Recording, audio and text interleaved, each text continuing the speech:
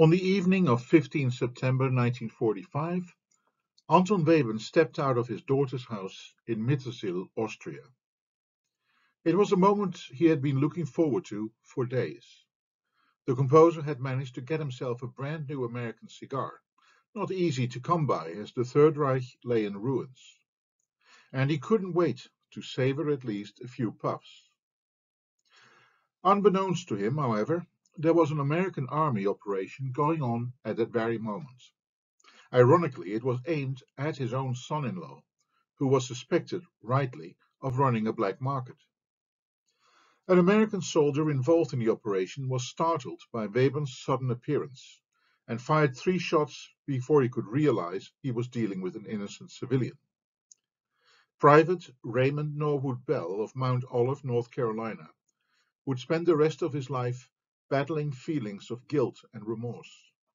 He drank himself to death ten years later.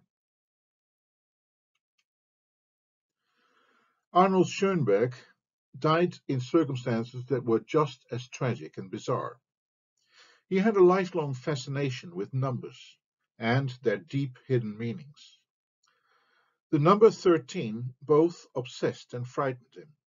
He considered it unlucky and avoided, if he possibly could, all things having the number 13, whether it be hotel rooms, street addresses, or something for sale at 13 Deutschmark, you name it.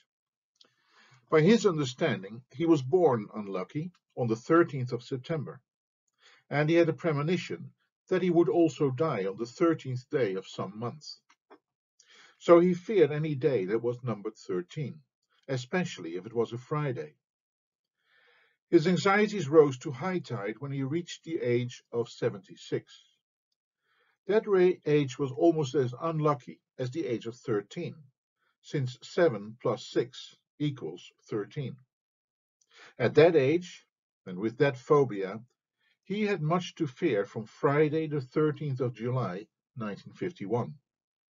He sank in deep depression as the date approached and spent the day itself in bed.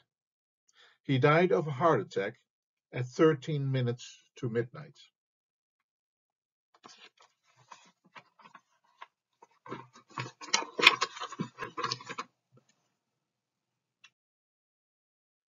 At this time, 1951, Schoenberg lived in Los Angeles, an American citizen. He had emigrated to the United States in the same year that the Nazis came to power in Germany, 1933. Within a short time, he had been offered a professorship at UCLA, and he bought a home in Brentwood Park. Composers and musicians from all over the free world came to visit him as a celebrity. There are still home movies from that period, now kept in the Library of Congress.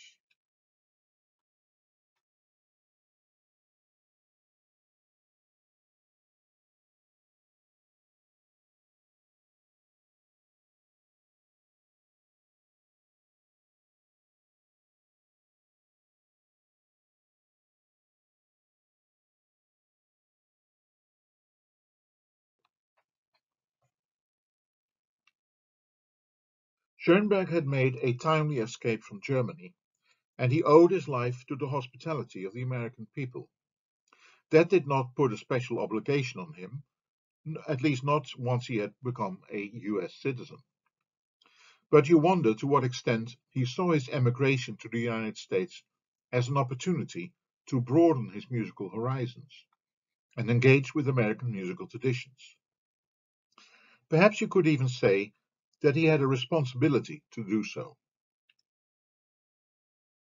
The 1930s were a calamitous decade for the American people, who struggled through the Great Depression and the Dust Bowl years.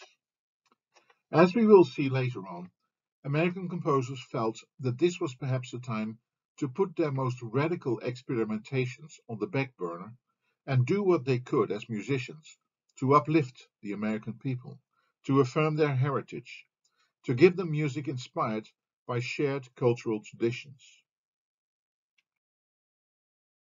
But this recent book, which claims to blow away many misconceptions about Schoenberg in America, only confirms what I suspected.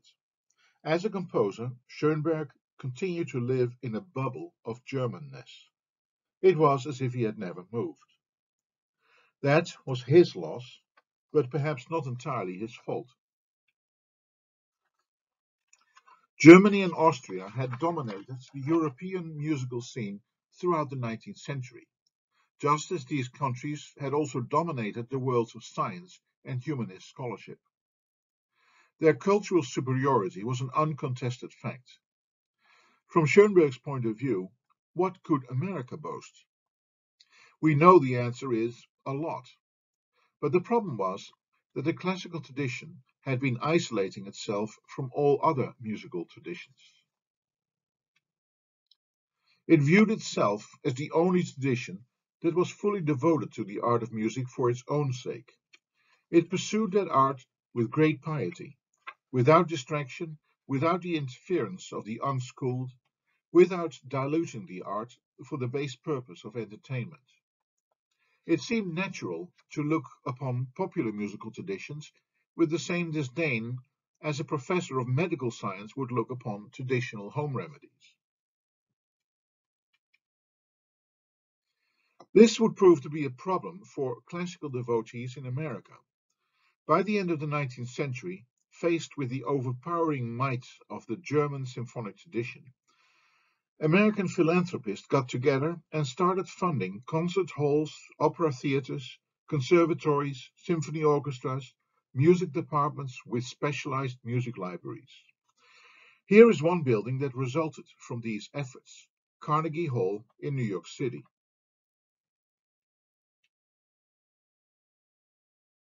Carnegie Hall had not always been dwarfed by the skyscrapers surrounding it today. It started out as the most impressive landmark in that part of New York. Impressive in terms of its size at any rate. The architectural design seems more appropriate for a bank, or maybe a courthouse or a city hall. Yet for all the expenses lavished on this and other buildings, the only repertoire that was ever played or studied or written about was European, usually German. Would America one day be able to claim its own great composer? But what would make his music sound distinctively American? When it came to the classical tradition, that seemed almost a contradiction in terms. The only distinctively American musical sounds were popular, ragtime, the minstrel show, the banjo, the so-called Negro spirituals, Native American music, folk songs among the poor rural whites. Yet it is here at Carnegie Hall, on 15 December 1893, that Americans, or at least affluent Americans, were filled with new hope, that it might after all be possible for America to speak to the world with an American classical musical voice. We turn now to the music critic of the daily newspaper, the New York Herald, who attended the event and describes it vividly. It was essentially a ladies' day. The Philharmonic rehearsals always are. But yesterday in particular, Carnegie Hall seemed to contain nothing but the members of the fairer sex. The downpour of rain could not keep them away.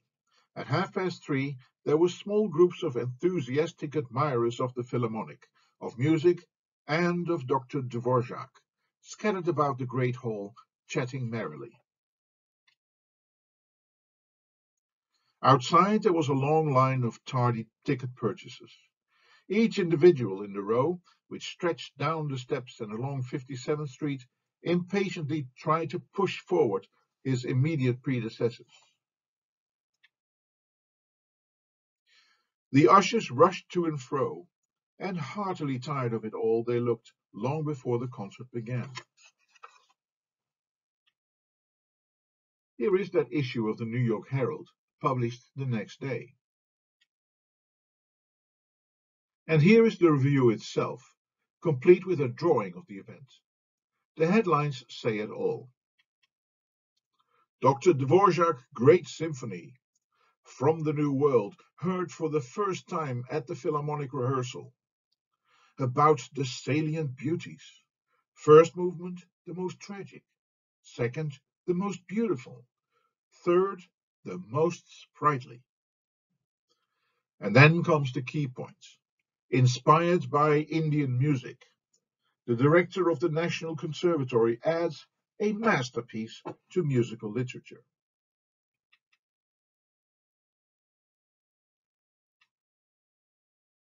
Now we join the reviewer into the concert hall itself, and he continues to tell us what was going on. There was an air of excitement pervading everyone. People read and reread the analytical notes accompanying the program. I am sure that the lady next to me must have known by heart that, quote, Dr. Dvorak made a study of Indian and Negro melodies and found them possessed of characteristics peculiarly their own. That, quote, he identified himself with their spirit, made their essential contents, not their formal external traits, his own, and that he had striven, quote, to reproduce in the present symphony the fundamental characteristics of the melodies, which he had found here by means of the specifically musical resources which the inspiration furnished. At last, the moment arrives. Mr. Seidl, the director, mounts the platform. There is a moment of expectancy. Every eye is on the uplifted baton. It descends, and we are listening at last to Dr. Dvorak's symphony from the New World.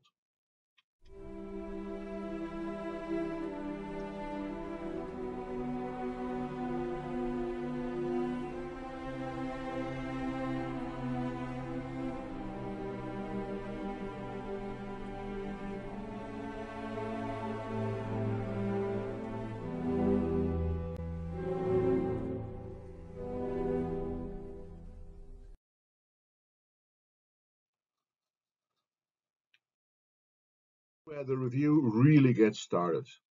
We get a vivid description of the first movement, blow by blow. Readers at the time did not have the luxury of being able to hear the symphony while they were reading. But we do, so let's read the description and hear what the reviewer describes. What do we hear? A sad, tragic unison theme in E minor given out by the cellos. Dark, somber, threatening.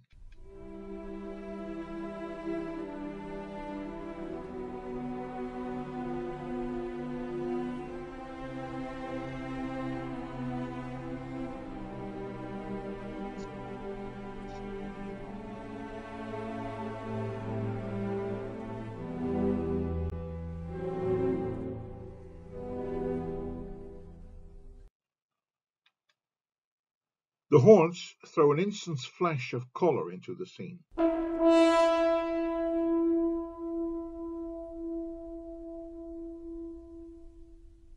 Then it is gone, and the woodwinds are deepening the feeling of melancholy which the opening passage has created.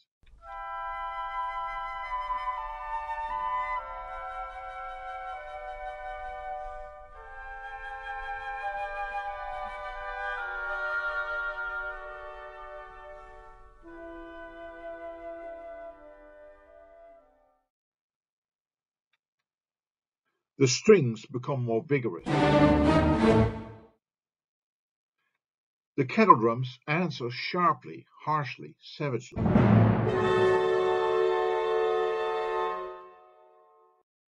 Gloom, deepest, darkest night, created by a long passage for the contrabasses.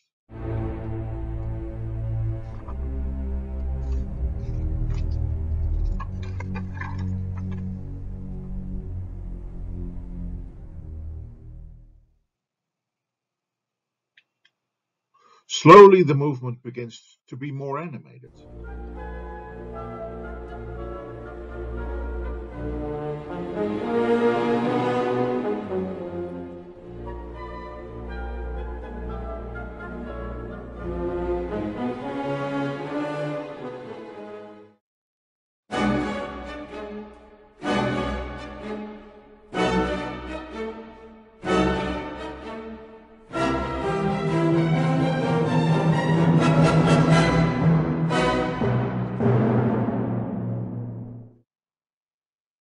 The woodwinds, the strings, everything seems to be on the alert.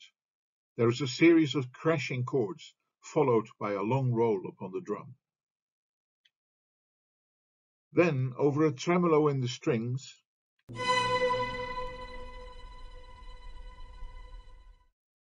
the first theme is given out by the horns.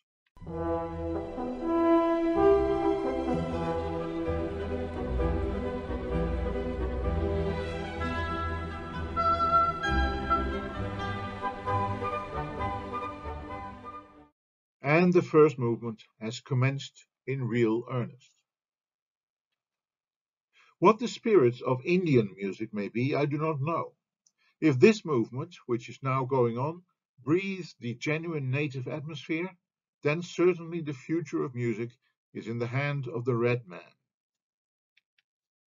And then a series of passages ushers in a delicate plaintive melody wailed forth by the flute and accompanied by easy flowing counterpoint.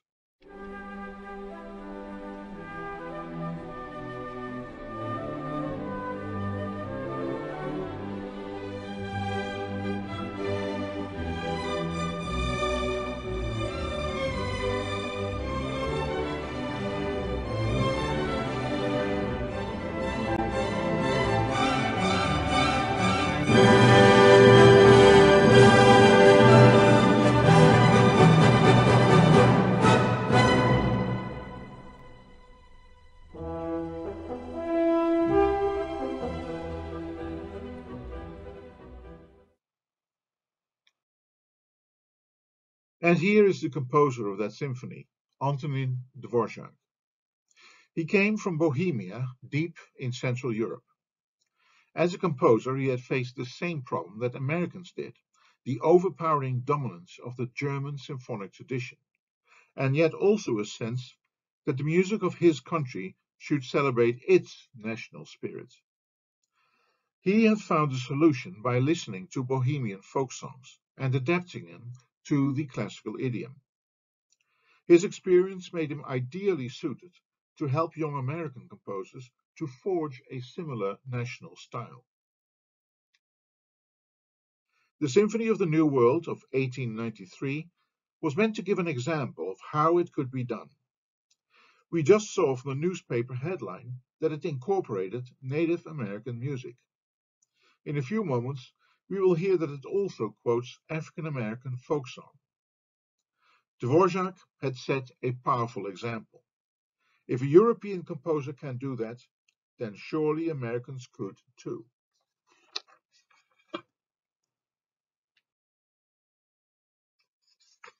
The idea to bring Dvorak to America and to invite him to teach composition to young Americans came from Jeannette Thurber, she was a wealthy philanthropist who had lavished much of her wealth on the foundation of a conservatory of music. Here it is, the National Conservatory of Music in New York, sadly no longer in existence. Dvorak was offered a teaching position at this conservatory. In fact, the newspaper headlines described him as its director. Dvorak had made a long journey by train and then by boat across the Atlantic to take up his position. Obviously, this drew the attention of the New York press, which reported enthusiastically on his activities and soon asked for an interview with the great man. The illustrations show him teaching an American composer, a woman. The founder of the conservatory had progressive ideals and emphatically insisted that the school be a training ground for women, African Americans, and other ethnic minorities, as well as men. It was not long until the great master himself ventured his opinions on American music, its future and its potential, in a newspaper interview. The headlines say it all. Real value of Negro melodies, Dr. Dvorak finds in them the basis for an American school of music, rich in undeveloped themes. American composers urged to study plantation songs and build upon them. Uses of Negro minstrelsy. College students to be admitted to the National Conservatory. prizes to encourage Americans. So, what were his opinions? I can only quote selected excerpts, but they soon reveal a perspective that is not nearly as isolationist as that of German composers like Schoenberg and others. I am now satisfied, says Dvorak, that the future music of this country must be founded upon what are called the Negro melodies. These must be the real foundation of any serious and original school of composition to be developed in the United States.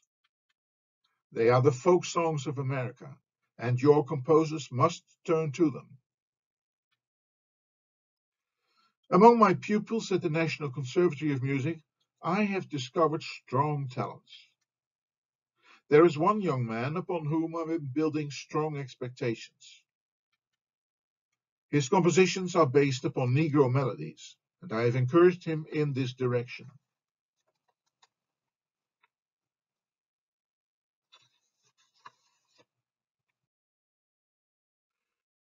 The other members of the composition class seem to think that it is not in good taste to get ideas from the old plantation songs. But they are wrong, and I have tried to impress upon their minds the fact that the greatest composers have not considered it beneath their dignity to go to the humble folk songs for motives. When the Negro minstrels are here again, I intend to take my young composers with me and have them comment on the melodies. Those were bold statements, and Dvorak would soon find that they were not received with universal enthusiasm.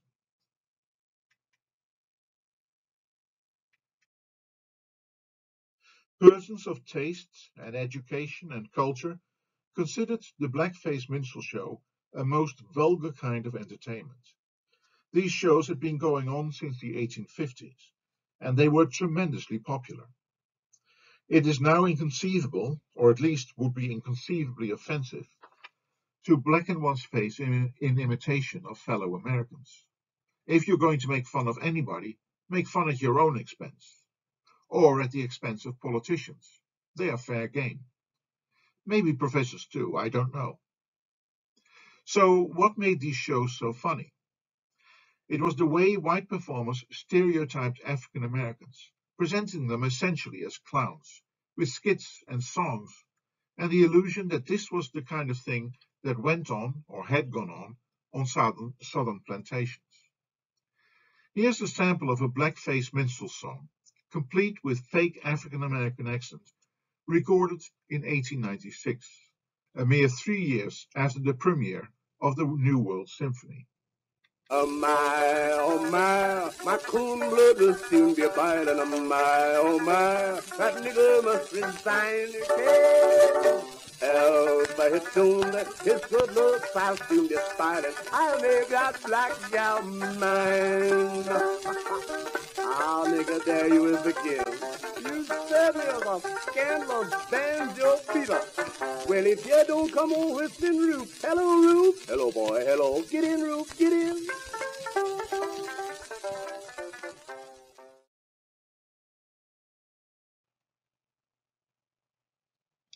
Dvorak's idea of having minstrel shows invade the dignified and serious world of classical music was considered outrageous by some commentators.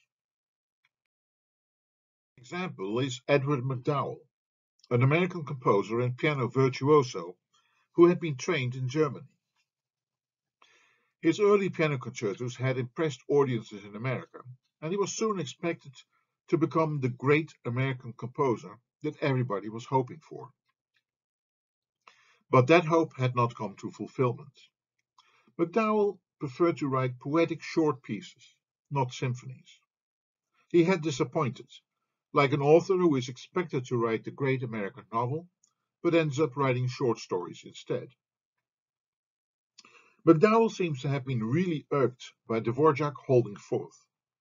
He had devoted his life to the cause of American classical music, and here was this foreigner from Bohemia who knew nothing of America and presumed within months that he had it all figured out. So MacDowell wrote an opinion piece in response. Let's hear what he had to say. We have here in America been offered a patent for an American national music costume by the Bohemian Dvorak. What Negro melodies have to do with Americanism still remains a mystery to me. Why cover a beautiful thought with the badge of slavery, rather than with the stern but at least manly and free roughness of the North American Indian? Masquerading the so-called nationalism of Negro clothes cut in Bohemia will not help us. What we must arrive at is the youthful optimistic vitality and the undaunted tenacity of spirit that characterizes the American man.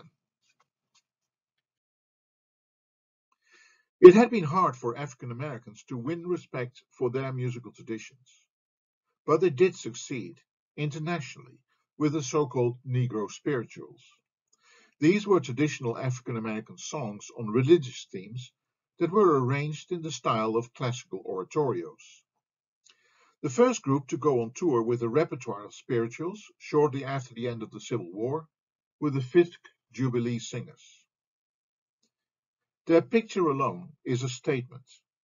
Plenty of white folk knew no better than, than that African Americans really were clowns like they had laughed at so much in the theater.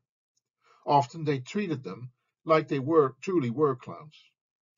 African Americans soon found that white people were a lot easier to deal with if you went along with that stereotype for the duration of the interaction. Insisting on your human dignity could get you in trouble. This is part of what W. E. B. Du Bois wrote about in his classic monograph, The Souls of Black Folk, published in 1903. He had spoken of a double consciousness. On the one hand, there is the African American that white folk like to see, and on the other, the African American who can be disentangled from that prejudice only with the greatest difficulty. So yes, this picture is a statement. Unfortunately, it didn't stop concert managers from promoting them in the newspapers as, quote, real-life darkies meaning that they offered something like a minstrel show. Let's hear a short sample of the so-called Negro spirituals, the famous song Swing Low, Sweet Chariot. It is important in this context because Dvorak quoted the melody in his symphony of the New World.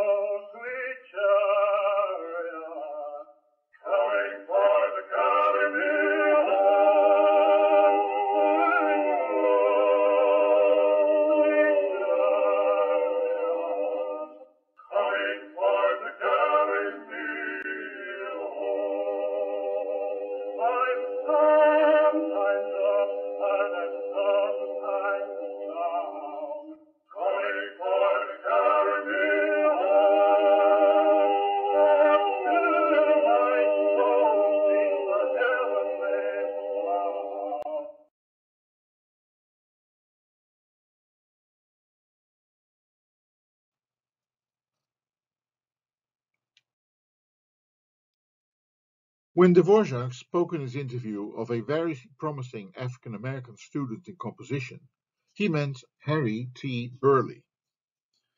Burleigh had been writing compositions based on African American themes well before Dvorak visited America. Here's a short sample of his setting of Swing Low.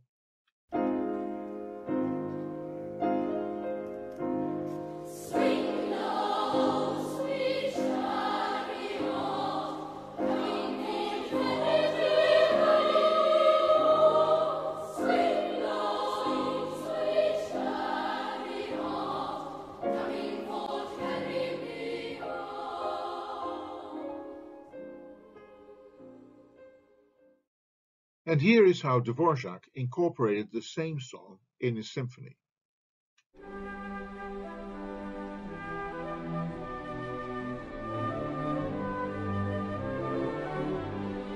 Ah.